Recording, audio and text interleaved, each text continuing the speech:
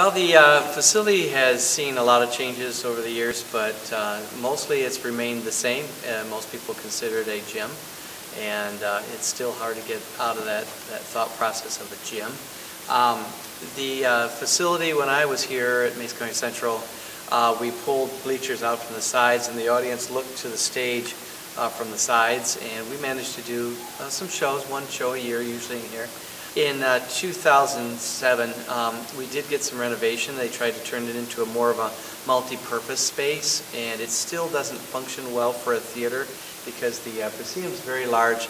There's no uh, wing space at all, so you can't bring on scenery or fly in scenery, so it's really hard to do some productions. Um, but we try to make it work. Um, we've done uh, middle, middle school productions in here, as well as trying to do elementary and junior high programs in here. We can get 600 people in the facility. Uh, they're all sitting on any chair we can find.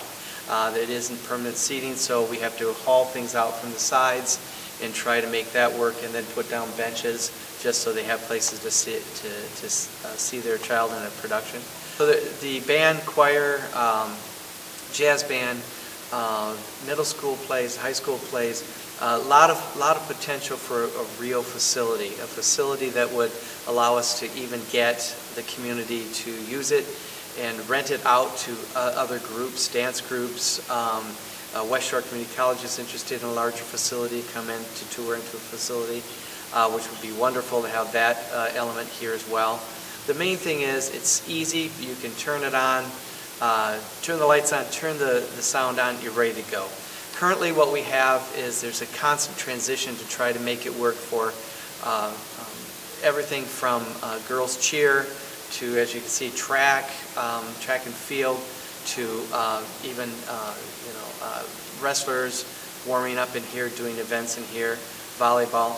It, it's a shared facility, and it's really very difficult to make that transition to try to set up for something or to offer somebody something like uh, uh, area schools that might want to come in and do something jointly with us. If we want to do a theater festival, if we want to have a competition, we don't really have the facility to do that or the lighting to do that.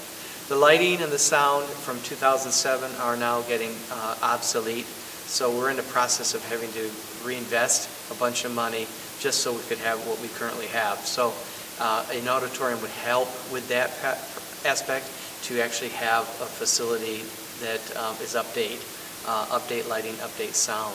Also, not just to mention that, but a teaching environment to be able to teach lighting, teach sound, uh, have acting classes on the stage uh, so they learn to project and the students uh, um, will do that. We have students that still manage to get away and be professional performers. We have professional musicians out there, we have actors, we have a student who just got, got a four-year scholarship uh, to U of M for acting. Even though we don't have great, great facilities, it, it would really benefit and draw kids in uh, to the, a good facility. Not to mention just being able to have the entire school watch an event, uh, guest speakers that might be brought in instead of trying to listen in a gym where it's uh, very difficult to get attention where you're in an auditorium that helps as well.